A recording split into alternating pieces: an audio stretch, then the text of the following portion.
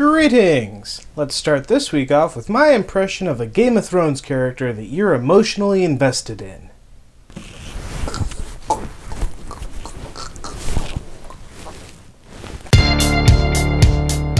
Last Sunday was the premiere of Game of Thrones' fourth season, and in spite of its reputation of being the most pirated show on the internet, plenty of people at least attempted to watch the program through legal methods.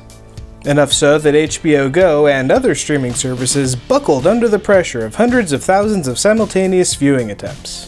Which, ironically, no doubt contributed to the episode setting a new record for torrent downloads. It took too long. I. What are you saying? I'm saying you took too long. 2015 will see the end of not one, but two eras in late night television. Just one week after David Letterman announced his retirement from The Late Show, his successor has been named.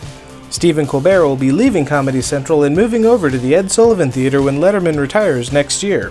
Colbert's right wing pundit persona will be ending with the Report, with Colbert saying, I won't be doing the new show in character, so we'll all get to find out how much of him was me. Finally, Nintendo put up a new Nintendo Direct that featured exclusively on the upcoming Super Smash Bros. games for Wii U and 3DS. One of the bigger changes to the game is that there will be no more character transformations. Samus, Zero Suit Samus, Princess Zelda, and Sheik will all be unique characters. Likewise, Charizard will replace the Pokemon Trainer as a standalone character. Along with Charizard, Nintendo announced that 6th generation starter Greninja will be another playable Pokemon alongside Lucario and Pikachu. Both Wii U and 3DS versions of the game will feature online play for both casual and competitive players, with For Glory mode featuring no items or gimmick levels, and For Fun mode being your normal Smash Bros. experience. The 3DS version of the game is scheduled for an unspecified date this summer, with the Wii U version following in the winter.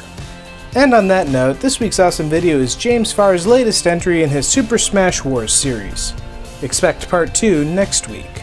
That's everything for this week. Be sure to like and subscribe down below, share this video with your friends, tell me what your favorite Smash Bros. character is in the comments, and have a great week.